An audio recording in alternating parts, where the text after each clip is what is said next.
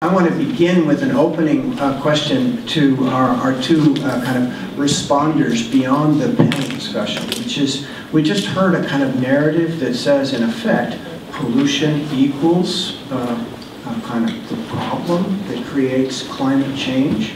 We also heard a call for clean water, and there's a pollution root to that. And then I think in transportation, we kind of understand fundamentally that vehicle miles traveled with, um, uh, it, it can be addressed and reduced significantly, and therefore the pollution that comes with those vehicle miles are reduced significantly with multimodal transit systems. So you see, it's all very simple, just stop polluting. So, so it, it, is it, is that what we have to do to get to the health returns, the economic returns, and the ecological services that we're looking for?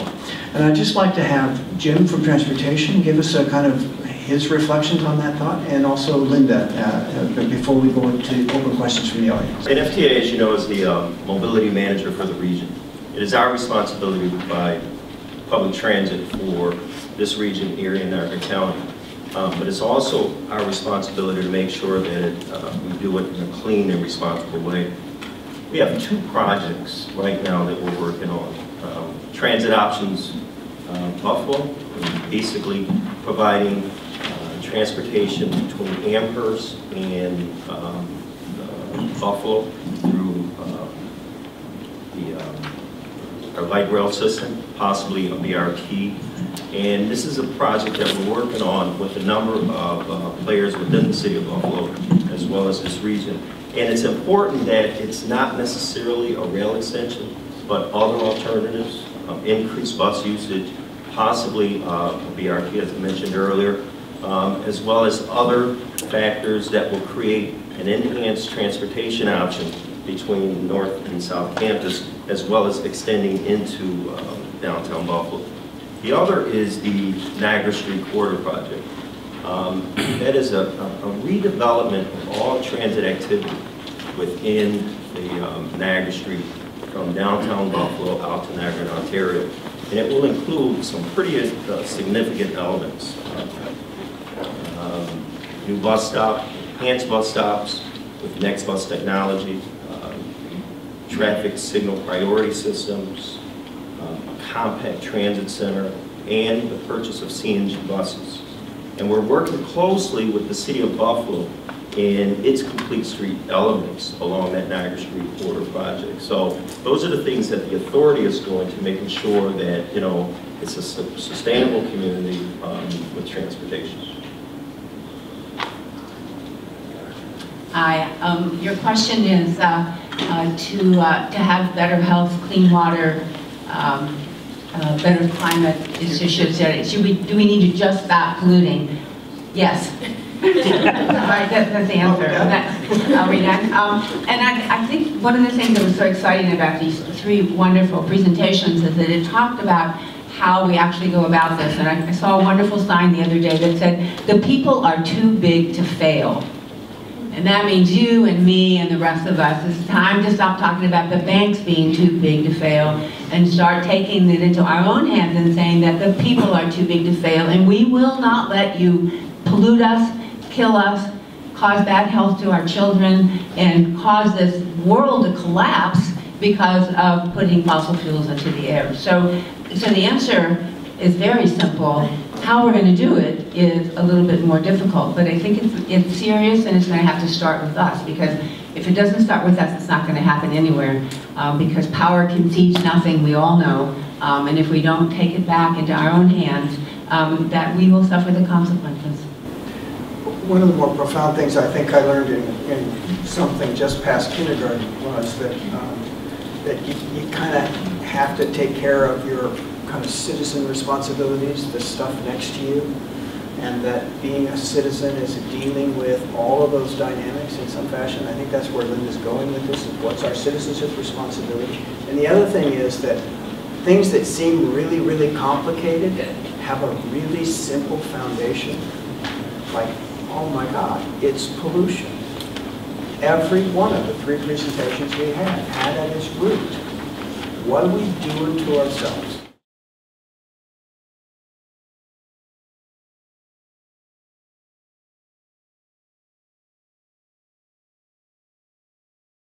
Say mobility manager, that's more of an academic thing. Um, We're basically responsible for all transit. Um, The authority's legislation uh, back in 1967 was surface, the the port of Buffalo, since we own all this waterfront land, or about to sell it, um, as well as the airport. So we are by default a mobility manager. But when we refer to access, yes, we we do agree that uh, being able to get from one point to another is very important. In 2010, we did a major study. We looked at our entire system. And what we found was that the majority of our service was trying to get to areas outside of the city. Okay, and we had 80% of the individuals that were within our urban core, what we consider our urban core, um, not being served effectively. And it was an, an issue that was uh, mentioned in one of the the, the speakers that talked about land use and transportation. And are we, um, um, extending that sprawl by providing bus service to these areas where individuals are trying to get jobs? Yes, we are. It's a fine line that we have to, um, to walk when individuals come and say, I need bus service out there. So we'll, we'll try to set up a transportation plan for an individual that needs to get to a job, and within six months, they buy a car and that bus is empty. So what we did is we rethought our system, and we, we basically retrenched. We provide great service. Um, We were talking about the west side, the number three grant. How many are familiar with the number three grant? The number three grant, we had 15-minute service. The study said you put 10-minute service on. Right now, we're at five-minute headways. Bus is coming every five minutes. Why? Because that's a very high transit-dependent population that lives there. But that is in an area within the urban core. So, yes, we agree that providing that access, but what comes with that is the responsibility of not just the authority, but also business owners and the region to provide, you know, funding to extend that service.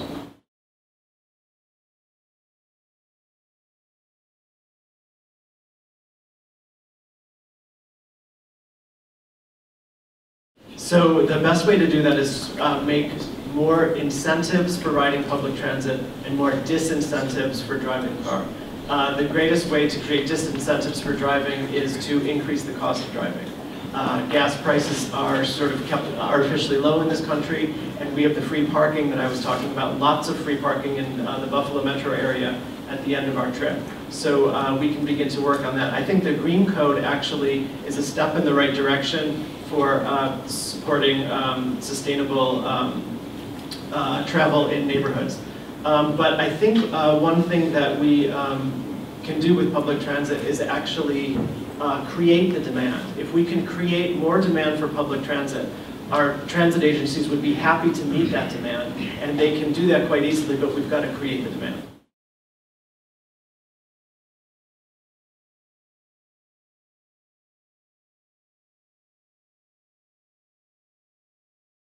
talk to your neighbors. So does everyone else agree? Is this the ask? Um, and then on top of, I mean, outside of that, it's, it's, it's actually asking them. I mean, that's the first step, right? Specifically with a private business. Well, and then we can talk more, you know, because I don't want to monopolize the time here, but I'm we, I, I've got about Jill. six hands and lots of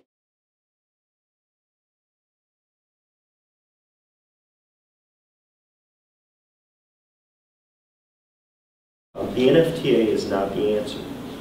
Um, We have a core network that we provide service for. We have about 16 routes that basically operate into the first ring suburbs, into major job destinations, malls, and stuff like that. Further out, we have to start developing, and we, I'm saying the NFTA, um, as well as developers, these private, public-private relationships that it's the first mile, last mile, as we say in the industry. We'll get you to a point, but can someone else provide the service from that point where we have great service, and then a small circulator that would take you into these communities? So we're beginning to do these. And we have a study in uh, North Tonawanda that we're looking at um, to do that, to pull our service back to the core, and then have others pay for and operate the circulator service.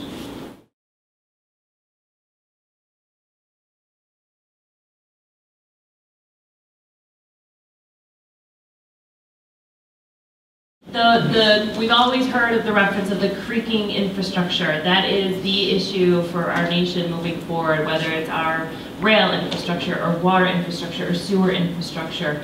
Um, what we're seeing now in Buffalo as a prime example is a long-term commitment to improving that infrastructure. And those are the opportunities to have the multiplier effects, the, the multiple benefits, the triple bottom line any dollar that's going into any kind of infrastructure project, what is the social, economic, and ecological benefit, triple bottom line, out of, out of these investments? And that is where the community voices are heard. So if you um, start to understand that a sewer project might be happening in your neighborhood or in your area, there's an opportunity for your, either your street or your neighborhood to see some kind of multiplier effect or higher impact. The, the push community is a great example of what's happening right now in those areas. And the same thing can be told for all transportation infrastructure investments as well. Um, so it's, it's staying informed. It does, there is a proactive um, approach to this. It's, and historically and generationally, we've always been reactive, right? We, we hear about something that's been decided and then we point fingers and say, no, you're doing it the wrong way. It takes a little bit more energy and a little bit more proactive to kind of keep track of what's going on before those key decisions are made. New York State is a home rule state, to kind of reference the previous question. A lot of key important decisions are made at the local level. And then sometimes it gets too far down the line for you to, to augment or to modify that.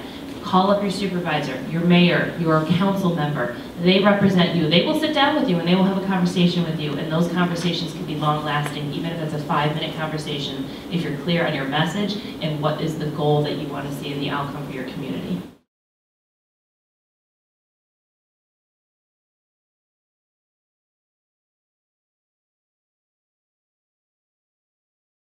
The biggest water quality issue of our generation will be pharmaceuticals in our water supply.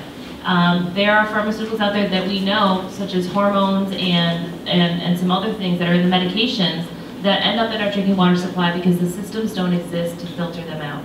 We are consuming pharmaceutical waste. Um, not to say the sky is falling, but that's the reality. Very few chemicals that are in use are actually regulated. Um, some folks will think that if you have um, your, your DEC or EPA regulating things, that then we're safe. But they only regulate maybe about 5 or 7% of all chemicals in use out there. Um, so it's, it's being aware of that. Microbead pollution in the Great Lakes is an issue. So again, all the other questions, I'd love to talk with you afterwards.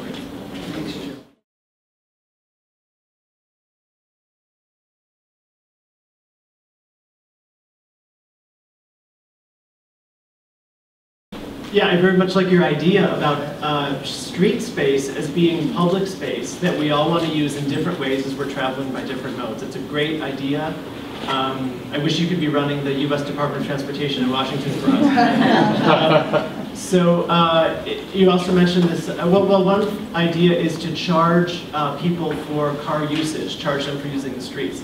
Um, That wouldn't be very popular, but where it's done is in highway tolling. So there's some uh, places where you actually pay to use a road, uh, sometimes they're private roads, sometimes they're public road, but you're paying a fee to use that road, it's a user fee.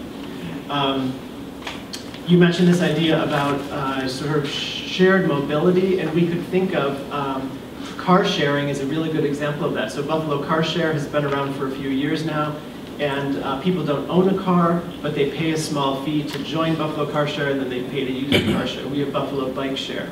Um, I hear that some of the large um, automobile manufacturers are sort of envisioning a future where a person buys a share of an automobile but doesn't really own it, and then nearby there would be parking lots with, um, for example, a bunch of Toyotas, and you would go down and use one. So it's, I think your idea is not really that outlandish in that we can sort of think of sharing our street space in better ways.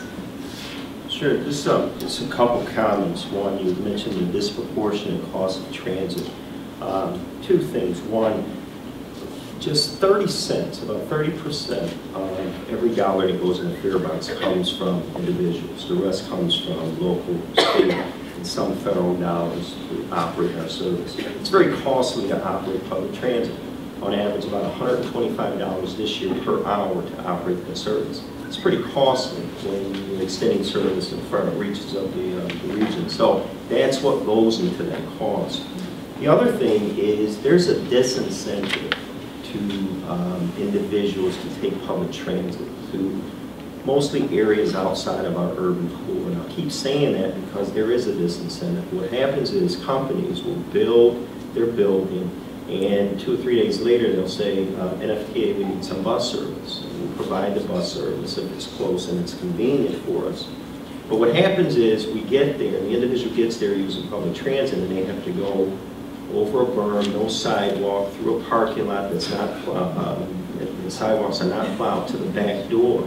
But the individual that's driving the car, it's paid, and there's a cost associated with that. And if you were to take that, that cost of that parking space and spread that out through all the individuals, that's a perk for that individual. So what we're pushing is to have companies assist the individual that's taking public transit in their public transit costs. A Couple of ten dollars or whatever.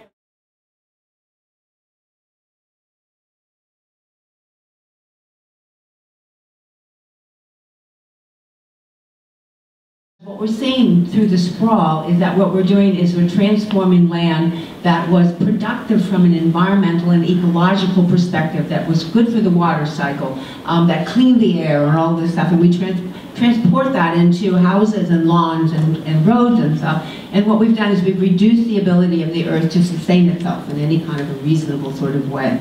Um, and it pollutes the air, we talk, talks, to pollutes the water, um, and so these things are, are absolutely connected all the way from the beginning. And so I think we need to, to think about land use, we think, need to think about pollution, we need to think about climate change, we need to think about transportation exactly is a part of the same thing. And we're always, we seem to be talking, as you were saying, in terms of band-aids, in terms of fixing the system and sort of trans, instead of transforming the system. And we have a system that's based on fossil fuel, that's based on cars, and we need to transition off of that system into a new energy system the way that we did 150 years ago when we started to use electricity and we started to use fossil fuels. It's time, we can do it.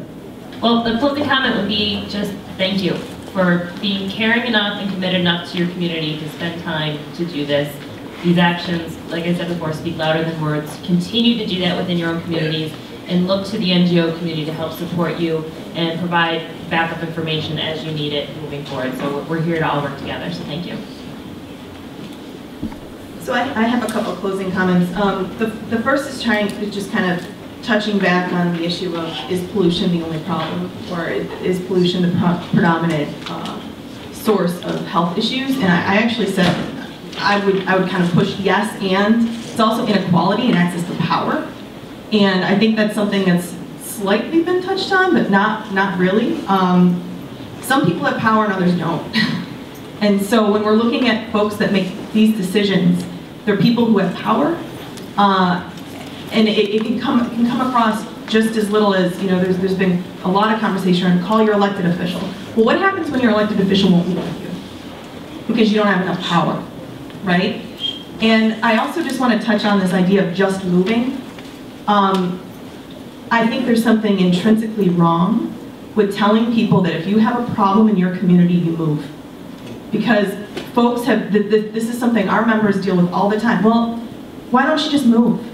Well, if you own the house, if, if, if you've invested your life in that neighborhood, why should you have to change your entire life because somebody else is not following the law? Um, so I just, I, I think it just, again, it's also about power and it's about how we view um, people who aren't necessarily powerful, right? Okay.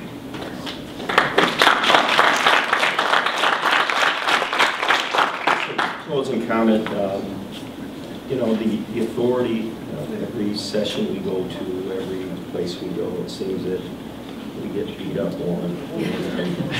For the past few years, this is something that I've taken to heart. Uh, It's okay, because we are part of the equation that's moving this region forward. Every major initiative, every single major initiative that's happening here in this region, the NFTA is part of it. So we are beginning as an, as an organization um, to start looking at how we fit into that equation and how we be responsible for moving it forward. So thank you, and um, we'll we'll be around. Um, One of the uh, themes I think that we heard about today was this idea of transportation equity. who pays, how much do they pay, are they overburdened, do they pay a fair amount? And that's a really good conversation to have. When you uh, hop on the NFTA bus and you pay a $2 fare, uh, the cost of that ride is about $6, as James said. So about $4 is subsidized uh, by our county and state government. Uh, when you are uh, acting as a driver, you're receiving subsidies, even more subsidies than that uh, bus rider. Um, I uh, like the idea that came up that we think about streets as sort of shared space, and we're now thinking with this Complete Streets movement about really uh, reconceptualizing uh, the way we use those streets. And then for the gentleman who um, talked a little bit about sprawl, uh, he, he said that we really need to think about land use. And uh, if you think about the first question I asked you, is you, did you travel at all today? Uh, and the answer is yes. So it's this idea of separation of activities by land use that requires us to travel anywhere to begin with. Uh, during the maybe second half of the 20th century, uh, there was sprawl in Buffalo and everywhere in the U.S. Um, people moved to the suburbs, and it led to a really high quality of life. One of the highest uh, life qualities uh, in the world in the U.S. was the suburban lifestyle with an automobile. Uh, now we're paying the price. Um, someone could argue that no one in the Buffalo area should be allowed to build a new building for a business, because we've got lots of empty buildings in the core and in the first ring suburbs, and no one should be allowed to build new housing, because we've got housing that could be filled up. So uh, with the Green Code and other uh, thoughts today, we can think about reinvigorating our city center and near-in neighborhoods where sustainable transportation makes a lot of sense. I think that the citizen planning school is, is absolutely critical because it changes our imagination about our role with respect to planning and the civic structure. Uh, we live in a society right now that tries to isolate us and separate us. You know, if you buy this, you'll be okay, or if your kid has this, then they'll do X, Y, Z. And suddenly, we're told that everything we have to do is individual. And what that is, is a strategy by people in power to make sure that we don't take action. So one of the things we have to do is that we have to really organize ourselves um, to confront this thing. And I, I, know I'm sounding a little bit like a broken record, but if, if, for example, if the predictions that they talk about with climate change are real and that we have about 15 years to turn things around, we better get organized really quickly. And it's not going to happen because we take shorter showers. It's not going to happen because of us doing tiny little things. It's going to happen because we, like us here at the Citizen Planning School and the One Region Forward and all of these nonprofits that you're working with, take collective action to address this issue of power inequality, the role of money. One of the things that we get told all the time that there's not enough money. Man, there is so much money in this world. It's just that it's isolated and segregated into small little pockets of people. And we need to, this should be public money. Those people made their money because we provided the infrastructure and the resources for them to be able to do this. So come on, we're too big to fail. The people are too big to fail. It's time to get organized and let's go for it.